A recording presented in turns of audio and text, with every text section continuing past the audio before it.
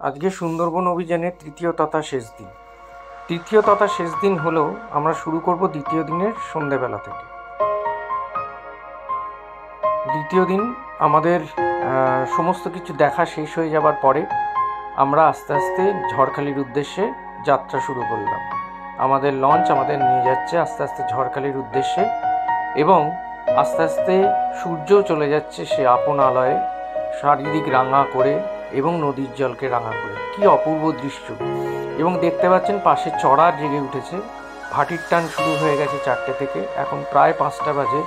সেই টান উপেক্ষা করা নদীর জলের পক্ষে অসম্ভব। এই টানে সে আস্তে আস্তে মিশছে সমুদ্রের জলে।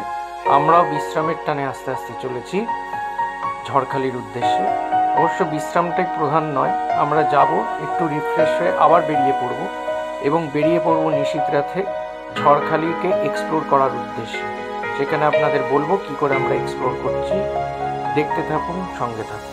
আমরা হোটেলে ঢুকে একটুখানি ফ্রেশ হয়ে বেরিয়ে চললাম সাতটা নাগাদ ঝড়খালি ঝড়খালি আছে? এই রাধাকৃষ্ণ মিষ্টান্ন ভাণ্ডারে আসবেন। এখানে মিষ্টিগুলো দারুণ সুন্দর। এই দেখুন এই এখন এই যে মিষ্টির দোকানটাকে দেখুন দূর থেকে।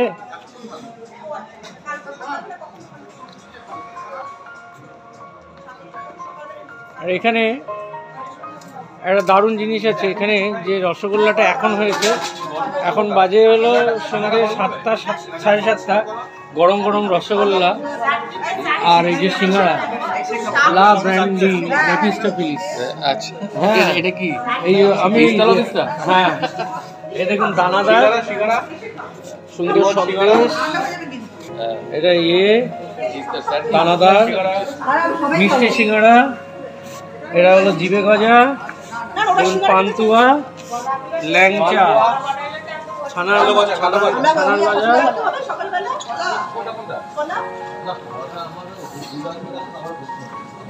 এই কত মিষ্টি কালাকাঁদ। ওইটা ওইটা ওইটা তুলে এই দেখুন ইলিশ মাছের ইলিশ মিষ্টি ইলিশ সন্দেশ। হ্যাঁ তেলটাও আবার রয়েছে ডিম রয়েছে। দানাদার। দানাদার এটা হলো এটা এটা স্যার কি? এটা সরভাজা এটা হলো না এটা হলো ছানার গজা ছানার গজা ছোট ছোট পান্তুয়া আর গজা এতগুলো মিষ্টি এছাড়া আপনারা কোল্ড ড্রিঙ্কস পাবেন প্রচুর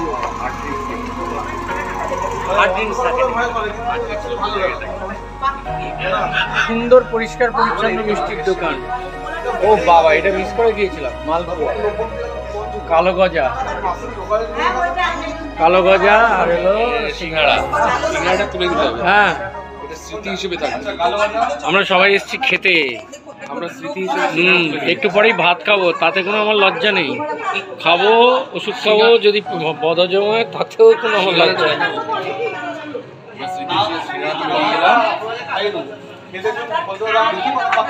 টেস্টের জন্য নিলাম। এই যে আমার আমার ছাত্র কিশলয় হ্যাঁ। এ নিয়েছে। আর আমার ভাইপো সৌম কি সিঙ্গাড়া সবাই সিঙ্গাড়া সিঙ্গাড়া। নিয়েছি আলুর পুরটা অসাধারণ। হ্যাঁ। আলুর পুরটা অসাধারণ। আমি এখন একটা কামড় দিচ্ছি হ্যাঁ আমি ভয়ে নিলাম না সিঙ্গারা কারণ আমার পেট পুরো একদম টাইট হয়ে আছে। হ্যাঁ। এখানে স্পেশালিটি হচ্ছে আলুর পুরটা যেটা। হুম। খোসাওয়ালা। ও সেই খোসাওয়ালা কচুরির সঙ্গে যে আলুর ইয়ে থাকে। আপনারা ঝড়খালি এলে এখানে আসবেনই। কোথাও না যান না যান। বাঘ দেখবেন কি দেখবেন না জানি না। রাধাকৃষ্ণ মিষ্টান্ন ভাণ্ডারের সিঙ্গারা রসগোল্লা দানাদার অবশ্যই খাবেন। আর সিঙ্গারার সঙ্গে একটা চাটনি দেন যে চাটনিটা এরা নিজেরা তৈরি করে। আর বেশি খাওয়ানো দেখালাম না। আপনাদের জিভ দিয়ে জল গড়াবে। হুম। রসগোল্লা গরম? হ্যাঁ, একদম নরম তুলতুলে হ্যাঁ। আর গরম। বোধহয় খেজুর গুঁড়ো আছে। গুড়ের রসগোল্লা তো? হ্যাঁ। হ্যাঁ। আর এই একদম নরম। মুখে তুলছে ও কি মুখের এক্সপ্রেশন দেখুন। ওকে আরেকবার। হ্যাঁ আরেকবার। স্বাদের ভাগ হবে না। এক স্বাদ মেটে না এটা স্লো মোশনে অসাধারণ। হ্যাঁ এটা এনার দোকান? হ্যাঁ দারুণ ব্যবহার ওনার। আপনারা ঝড়খালি এলে এইখানে অবশ্যই অবশ্যই আসবেন। বাঘ দেখুন চাই না দেখুন। বনে না ঢুকুন ঢুকুন। সুন্দরবনে ঝড়খালিতে মিষ্টির দোকান থেকে বেরিয়ে আমরা ঝড়খালির এই অন্ধকার রাস্তায় আস্তে আস্তে দলবদ্ধভাবে ঘুরতে শুরু করল সে এক অনন্য অনুভূতি। এই যে দেখছেন যে ছবিটা এটা একটা খাঁড়ির ছবি। এর ওপর দিয়ে একটা ব্রিজ আছে মানে কাঠের তৈরি ব্রিজ যেখান দিয়ে মানুষ পারাপার হতে পারে। আর যে ছবিগুলো দেখছেন আলো, সেগুলো হলো নৌকোর ছবি এবং ছইয়ের ভেতরে তারা ল্যাম্পো জ্বালিয়ে খাওয়া দাওয়া করছে এবং বসে আছে। এই দেখুন, সামনে দিয়ে এই কাঠের সাঁকোটাকে দেখা যাচ্ছে। এই অর্ধ অন্ধকারে আমাদের কাছে যে সমস্ত মানুষরা ওই পাশ থেকে আসছে, তাদেরকে মনে হচ্ছে একটা অতৃপ্ত আত্মা।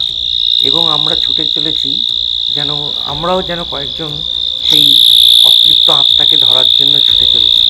এবং হাতে কোনো টর্চ নেই, যেটুকুনি চাঁদের আলো, সেদিনকে পূর্ণিমার পরের পরের দিন ছিল, যেটুকুনি চাঁদের আলো পেয়েছি এবং যেটুকুনি স্ট্রিট লাইট পেয়েছি। সেই স্ট্রিট লাইট এবং চাঁদের আলোকে ভরসা করে আমরা সবাই একে একে চলেছি। এই দেখুন কাঠের সাঁকোটা দিয়ে পার হচ্ছে, ওপারে যাচ্ছি। আর এই যে আলোর রেখাটা দেখছেন, এটা একটা মোটর বাইক আসছে। সেই মোটর বাইকের আলোর রেখা। আমরা পাশে সরে গেলে সেই বাইকটি পাশ দিয়ে চলে যাবে। এতটাই সরু সাঁকো। তো সেই আমরা যাচ্ছি। দেখুন কি অদ্ভুত মানে অনুভূতি। চারিদিকে গা ছমছমে একটা ভাব এবং সেই গাছের ছায়ায় যখন চাঁদের আলো এবং স্ট্রিট লাইটের এই সাদা আলো পাচ্ছে, পড়ছে, তখন যেন মনে হচ্ছে একটা ঘুমটা পড়াবো। এই দেখুন চাঁদের সেই রূপ। এই রূপ জন্ম জন্মান্তরেও ভুলিব না তো সেই যখন ছায়া পড়ছে যেন মনে হচ্ছে কেউ যেন নিঃশব্দে এগিয়ে যাচ্ছে আমার আগে আগে। এবং নিজের ছায়াটাকেও তখন মনে হচ্ছে একটা অদ্ভুতের ব্যাপার। তো আমরা যাচ্ছি, ওই দেখুন টিম টিম করছে একটা আলো, দেখতে পাচ্ছেন? ওটা বোধহয় কোনো একটা ঘর। সেই ঘরটার উদ্দেশ্যে আমরা যাচ্ছি। আবার ওখান থেকে আর একটা জায়গায় যাব। আমাদের কিন্তু কোনো দিক নেই। একটা দিকে যাচ্ছি, আবার যেখানে রাস্তা তিন ভাগ হয়েছে, কখনো বাঁ দিকে যাচ্ছি, আবার বাঁ দিক থেকে খানিকটা দূর গিয়ে আবার এসে ফিরে আবার ওই ডান দিকের এক্সটেনশনটা ধরে চলছি। তো এইভাবে ঝড়খালি বারবার যেন বলতে ইচ্ছা করছে কোন মিথ্যাবাদী প্রচার করিয়াছে যে অন্ধকারের রূপ নাই। অন্ধকারের রূপ এত সুন্দর হয় আর সেই চাঁদের আলোতে অন্ধকার যেন একটা অদ্ভুত মাদকতা সৃষ্টি করেছে। মানে চাঁদের আলো তার ছায়া গাছের ওপর পড়ছে গাছের ছায়া আবার আমাদের রাস্তার ওপর পড়ছে পড়ে যেন একটা অনির্বচনীয় একটা অপার্থিব আনন্দ দান করছে একটা অপার্থিব সৌন্দর্য দিচ্ছে। যে সৌন্দর্যটা সকালের আলোয় দেখা সম্ভব নয়। অবশ্য অনেকে ভয় পেতে পারেন, অনেকে আবার খারাপ লাগতে পারে যে, আমরা হোটেলের ঘরে বিশ্রাম নেব। কিন্তু আমার মনে হচ্ছে যেখানে যখন যাবেন, তখন সেখানকার সব রূপই দেখা উচিত। আসলে ঝড়খালি তো বাদাবনের অংশ, সেখানে তার মানুষরা কীভাবে রাত্রিবেলা থাকেন, সেটাও একটা দেখার জিনিস। এই যে কত স্ট্রাগল করতে হয় একটা মানুষজনকে, এই বাদাবনের একটা মানে একটা অনিশ্চিত পরিস্থিতিতে, সেটা কিন্তু দেখার বিষয়। এবং আমরা শহুরের লোকরা সেটা হয়তো কোনো দিন কল্পনাই করতে পারে না যে কতখানি স্ট্রাগল তারা করতে পারেন। এই দেখুন, ল্যাম্প স্ট্রিট লাইট আছে, জ্বলছে, কাঠের সাঁকো দিয়ে আবার আমরা পেরোচ্ছি ওপাশ থেকে এই পাশে তার, দেখুন, কি সুন্দর, এইদিকে নৌকো, ডান এবং বাঁ দিকে নৌকো রয়েছে, তাদের ছইয়ের আলো এবং এখানে একটা লঞ্চ সারানো হচ্ছে, সেই লঞ্চটাকে এখানে রাখা হয়েছে। এই দেখুন, কাঠের সাঁকোটা আপনারা স্পষ্ট দেখতে পাবেন। আর নৌকোগুলোও আপনারা স্পষ্ট দেখতে পাচ্ছেন, যতখানি আমরা দেখেছি স্পষ্ট, অতটা নয়, কিন্তু তাও আমি দেখানোর চেষ্টা করেছি। যতটা স্পষ্ট দেখানো যায়। দেখতে থাকুন। অসাধারণ সৌন্দর্য। এই সৌন্দর্য কিন্তু আমি মুখে কমেন্ট্রি দিয়ে যতটা ব্যক্ত করছি, তার থেকে অনেক অনেক অনেক গুণ সুন্দর সৌন্দর্যের দৃশ্য।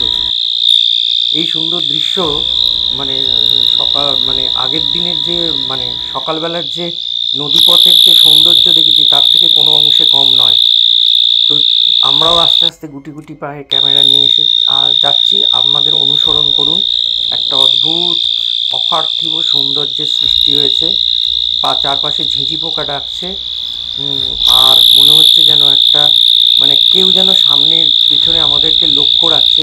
আমি তাকে দেখতে পাচ্ছি না, সে আমাকে দেখতে পাচ্ছে। তো আমরা এই যেতে যেতে ভূতের গল্প করতে করতে হাঁটছিলাম। হঠাৎ পাশ দিয়ে দুজন ভদ্রলোক গেলেন। গিয়ে বললেন, আমরা এত বছর আছি, আমরা কোনো দিন ভূত দেখিনি। আমাদের পাঁচ থেকে ছ বছর আগে এখানে বাঘ এসেছিল। সেই বাঘ আমরা দেখেছি, তারপরে বন দপ্তর সেই বাঘকে ধরে নিয়ে ছেড়ে দেয় তাদের ওখানে। বনের মধ্যে, গভীর বনের মধ্যে, কিন্তু আমরা কোনোদিন ভূত দেখিনি। এবং সেখানেই দেখা হয়েছিল যে মিষ্টি, মিষ্টান্ন ভাণ্ডার বললাম, সেই মিষ্টান্ন ভাণ্ডারের যে মাসিমা ছিলেন, তার বাড়ি এখানে।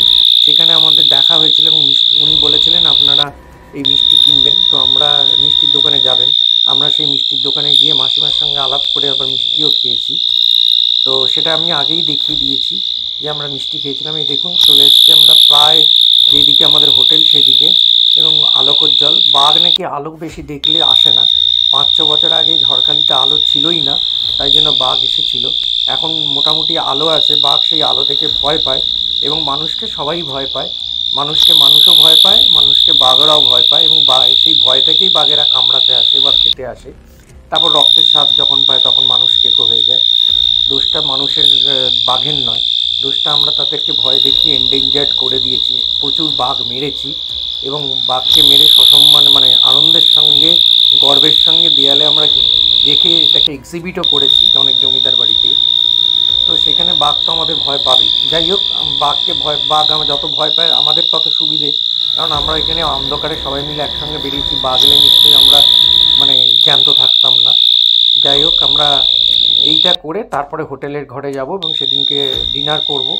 করে পরের দিনে আবার আমরা হোটেল ছেড়ে বেরিয়ে কলকাতার উদ্দেশ্যে যাব। বেরিয়ে আসছি আমরা হোটেলের ঘর থেকে। এই হোটেলের ঘরটা দেখুন আমাদের, একটা বারান্দা। প্রথমে দরজা দিয়ে ঢুকেই, তারপরে এই হলো তার ঘর। ডাবল বেডরুম, ডাবল বেড, কিন্তু তিনজন অনায়াসে শোয়া যায়। এটা হলো টয়লেট, পরিষ্কার, পরিচ্ছন্ন টয়লেট এবং ওয়েস্টার্ন কমোড আছে। আর এদিকের ওয়ার্ড্রোপ আছে। বেরিয়ে এলাম আমরা হোটেলের ঘর ছেড়ে। আবার লঞ্চে উঠে আমরা এবার যাচ্ছি গোসাবার পথে। গোসাবার যারা ট্র্যাডিশনাল ট্যুর করেন সুন্দরবনে, তারা ওই আমি আগেই বলেছিলাম, আগের পার্টে যে ক্যানিং থেকে নেমে সোনাখালি আসি। সোনাখালি থেকে তারপরে আসি কোথায়? লঞ্চে উঠি। লঞ্চে উঠে গোসাবা দেখে আমরা যাই পাখিরালয়। আবার এখন নতুন পথ হয়েছে ক্যানিং থেকে গদখালি। এসে লঞ্চে উঠে আমরা পাখিরালয় যাই সাধারণত। কিন্তু আমাদের ট্যুরটা নন ট্র্যাডিশনাল ট্যুর আমরা করেছি কি ক্যানিং গিয়েছি। ক্যানিং থেকে আমরা ঝড়খালি অব্দি ইয়েতে গেছি গাড়িতে। এবং তারপর ঝড়খালিতে হোটেলে উঠে পরের দিনের আমরা ট্যুর করেছি লঞ্চ পথে এবং থার্ড দিনও আমরা লঞ্চ পথেই গোসাবা যাচ্ছি এবং আমরা ফেরবার পথে গোসাবাতে যাচ্ছি। গোসাবাতে রবীন্দ্রনাথের ঠাকুরের স্মৃতি বিজড়িত বেকন বাংলো আছে এবং হ্যামিল্টন সাহেবের বাংলো আছে। সেই দুটো দেখে তারপরে আমরা যাব একদম গদখালি। আমাদের গদখালিতে ছেড়ে দেবে এবং সেই গদখালি থেকে আবার আমরা সড়ক পথে যাব ক্যানিং এবং সেখান থেকে ট্রেন করে আমরা শিয়ালদা যাব। এই দেখুন কিশালয় ছবি তুলছে। এই পথে আস্তে আস্তে আমাদের যেটা বিশেষ অনুভূতি হয়েছে, সেটা হলো প্রচুর পাখি দেখেছি। মানে সব মাইগ্রেটরি বার্ড এবং যারা সাইবেরিয়া থেকে এসেছে পেলিক্যান প্রচুর রকমের দেখেছি। প্রচুর মাছরাঙা দেখেছি। অনেক হরেক রকমের মাছরাঙা। তো প্রচুর পাখি দেখেছি, পাখিগুলো আপনাকে দেখাবো। এখন দেখুন কি সবুজ স্বচ্ছ জল, সেই স্বচ্ছ জলের মধ্যে দিয়ে আমরা যাচ্ছি। এখানে আরেকটা কথা বলে না রাখলেই নয়, একটি বাচ্চা ছেলে ছিল লঞ্চে যার যার তত দাদার লঞ্চ আর কি, গৌরাঙ্গবাবু। তার খুঁড়তো ভাই আকাশ বলে, বাচ্চা ছেলে এবং ক্লাস নাইনে পড়ে। সে আমাদের দূর থেকে একটা কুমির দেখিয়েছিল, সেটা উনিশ ফুট থেকে কুড়ি ফুট লম্বা কুমির। যে ছবিটা খুব ফেডেড ছবি, কিন্তু অনেক দূর থেকে, প্রায় দু তিন কিলোমিটার দূর থেকে এবং জুম করে আমি দেখিয়েছিলাম, সত্তর তিনশো লেন্স দিয়ে জুম করে আমি ছবি তুলেছিলাম। সেই ছবিটা এখানে দেওয়া যাচ্ছে না। সেই ছবি দেখেছিলাম। সেটাও একটা বিশাল পাওনা আমাদের যে সুন্দরবনের সবচেয়ে বড় কুমিরটা আমরা দেখেছিলাম। দেখুন কত রকমের পাখি। আমাদের চলার পথে এত সব পাখি দেখেছি। দেখুন, বকের মতন দেখতেই যে পাখিগুলোকে দেখা যাচ্ছে গাছের ডালে। যতটা জুম করে দেখানো যায় আর কি। উঠছে পাখিরা। এগুলো সব সাই- সাইবেরিয়া থেকে এসছে পেলিক্যান পাখি। এবং তারা গাছের ডালে বসে আছে এবং লঞ্চের আওয়াজ শুনে তারা উড়ে চলে যাচ্ছে। এই দেখুন, এটা অন্য একটা পাখি। পাখির নামটি আমি জানি না। আমি পক্ষী বিশারদ নই, কিন্তু এই অদ্ভুত দৃশ্যটা বড় সুন্দর। এই পাখিদের দেখলেই কেমন যেন সেই রবীন্দ্রনাথ ঠাকুরের কবিতাটা মনে পড়ে। ইহার চেয়ে হতেম যদি আরব বেদুইন চরণ তলে বিশাল মরুদিগন্তে বিলীন। ঠিক হয়তো এর সঙ্গে খাপ খেলো না কিন্তু তাদের যে এই যে পাখিদের ওড়া, দেখে মনে হয় এক জায়গায় কোথায় সাইবেরিয়া, কোথায় ভারতবর্ষের সুন্দরবন? তো সেখান থেকে তো দল বেঁধে এক পথ ধরে প্রতি বছর আসে তারা এই সময় এখানে। এবং এখানে হয়তো ডিম পেড়ে আবার তাদের সন্তানাদি হয় এবং তারাও এক পথে চলে যায় আবার সাইবেরিয়ায়। আবার মানে জন্ম জন্মান্তর ধরে এই মানে জেনারেশন জেনারেশন ওয়াইজ তারা কিন্তু বারবার ঘুরে পড়ে এই জায়গায়। আস্তে আস্তে শেষ হয়ে গেল আমাদের দূর, মন ভারাক্রান্ত। চলে যাই আপন পথে কলকাতার পথে। নমস্কার।